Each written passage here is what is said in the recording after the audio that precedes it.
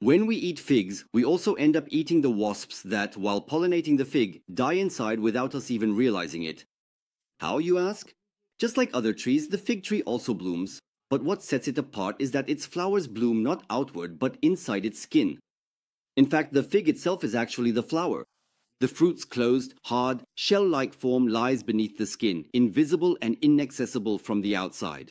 What reaches it and enables it to turn into fruit, that is, what pollinates the flower, is the fig wasp. It is also called the fig wasp. For the fig fruit to set and develop, the pollen from the male fig must be carried to the female fig by the fig wasp. The fig wasp ensures the formation of the fig even at the cost of its own life. To lay its larvae, the fig wasp arrives with pollen on its legs, passes through the hole at the top, and penetrates the skin to enter inside. Most of their wings break off as they enter. So for them, the inside of the fig is the final destination. While laying their larvae, they also pollinate the fig.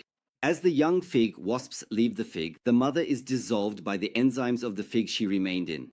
The young fig wasps, on the other hand, help gather on the female fig tree and create the necessary environment for the formation of delicious figs. Don't worry, the insects that remain inside are broken down by the fig's enzymes. Tests have shown that there is no trace of these insects inside the fig.